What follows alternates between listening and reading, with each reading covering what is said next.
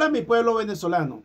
Hoy amanecimos con un nuevo presidente, seguro, preciso y sin ningún problema. Lo digo porque el país empezó a funcionar de la mejor manera.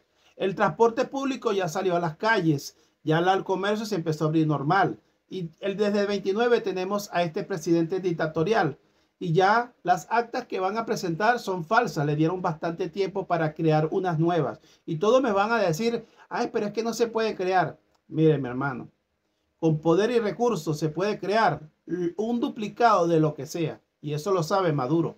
Por eso justamente Maduro, el Padrino López, Jorge Rodríguez y Diosdado Cabello hacen con nosotros lo que nos le da la gana. Pero a mí me da risa y me da algo de ternura ver cómo 30 millones de personas se dejan dominar por estas cuatro personas. Es su patria, es nuestra patria.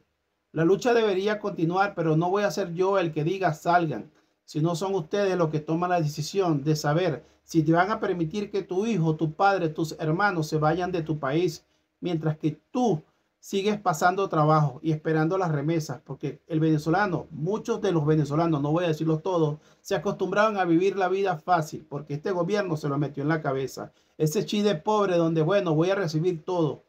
Yo quisiera ver que todas estas personas que salgan o las que ya salieron y que viven aparte, no le mandaran nada a la familia, así les duela, pero no les mande, para ver cómo se va a manejar la economía. Sé que eso no va a pasar, yo no me engaño. Primero los familiares de afuera no lo van a permitir y los que están adentro no lo van a aceptar. Y eso va a pasar muchos años para que ustedes entiendan eso. Pero en el momento de que despierten, se van a dar cuenta que van a vivir en una Venezuela que se acabó. Pero bueno, cada quien marca su destino y no soy quien para poder juzgarlo.